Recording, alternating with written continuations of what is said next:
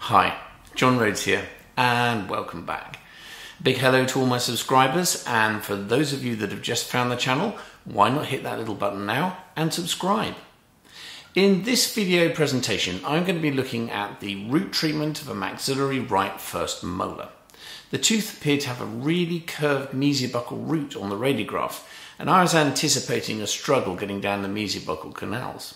However, once I'd gained patency, the canals were not that curved, but there was three of them. I'll share how I managed this. Hope you enjoy it.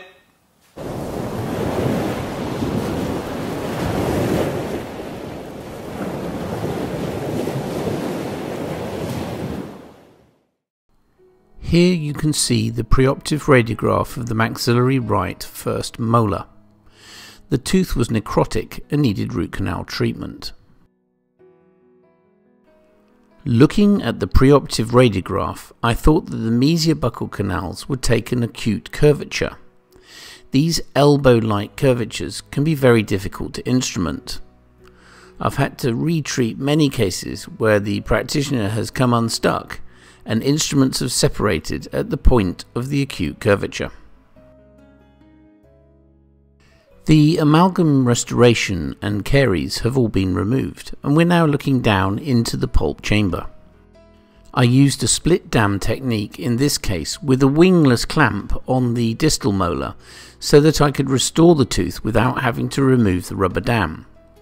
Here you can see I'm using a Start-X 3 to trough along the isthmus between the MB1 and MB2 canals.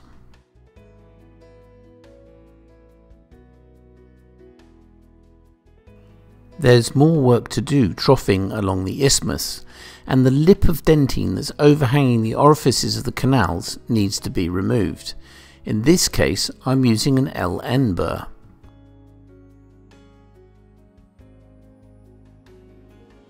As we zoom in with the microscope, you can see that I'm still not quite there.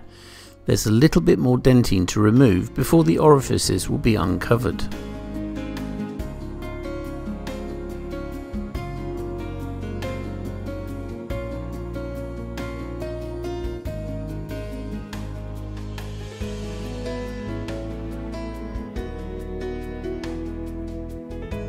Because I thought that the mesiobuccal canals would have an acute curvature, I used a size 6 file to estimate the working length with an electronic apex locator.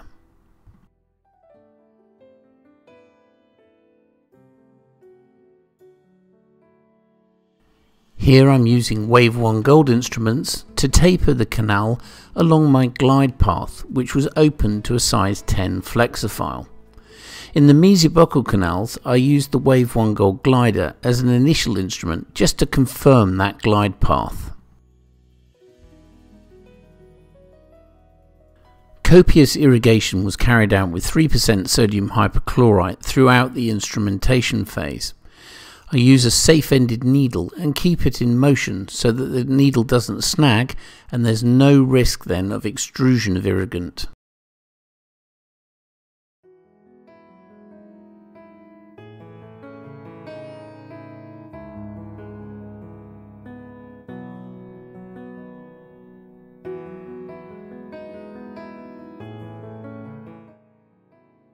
The four canals were all tapered to a primary Wave 1 gold instrument and this was my finishing file.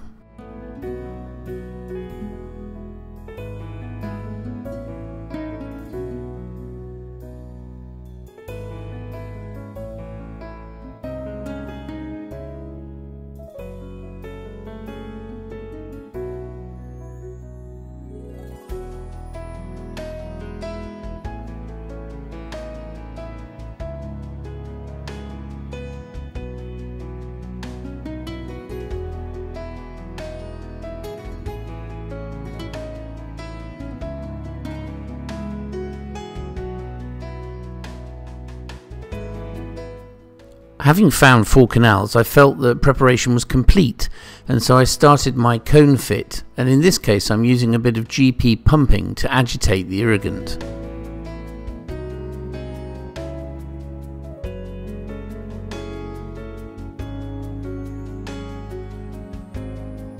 I like to do a final check under high magnification of the pulp floor to make sure nothing has been missed. In this case, using a micro opener, I found an orifice of an MB3.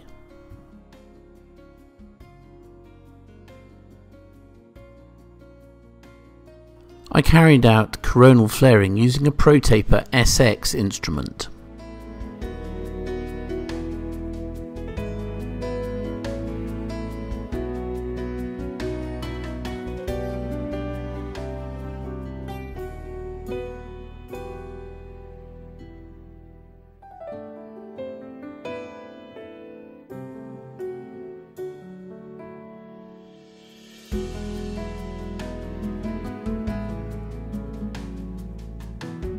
Having confirmed the working length of the MB3 with an electronic apex locator, it was rapidly tapered using Wave 1 Gold instruments.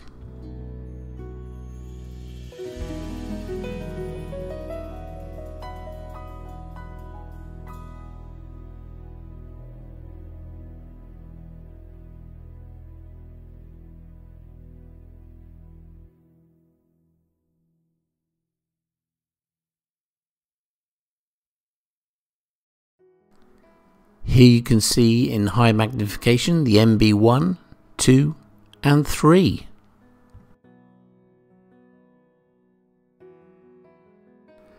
In this case I obturated the root canals using a bioceramic sealer, BioRoot RCS. I like to inject the material into the canals before placing the Guttapercha cones as this proves to be less messy.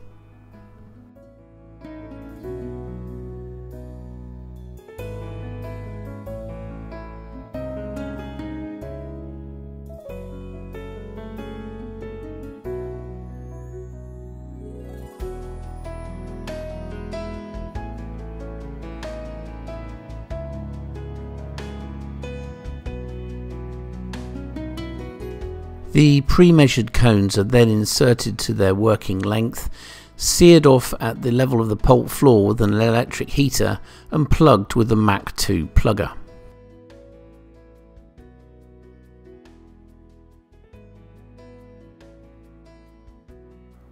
Here you can see the MB2 and MB3 being obturated.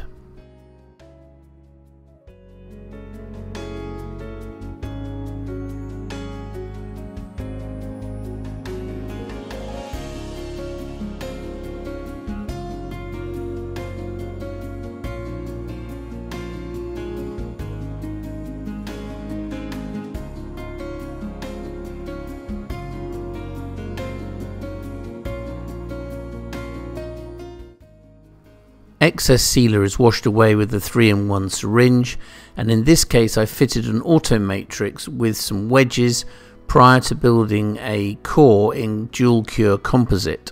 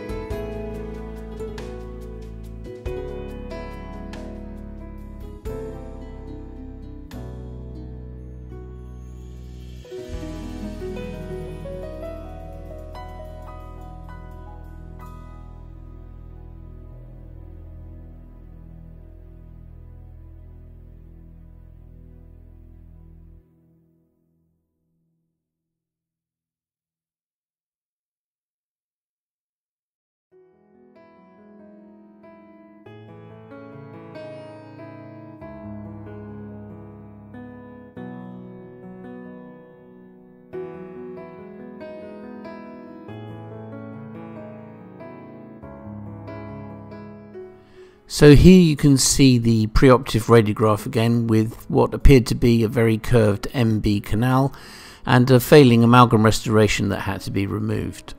The postoperative radiograph shows a good coronal apical seal and nice adaptation of the core material. Taking a view from a distal aspect really highlights the three MB canals nicely. Well, I do hope you enjoyed that presentation. Don't forget to subscribe if you haven't already. And above all, enjoy your endo.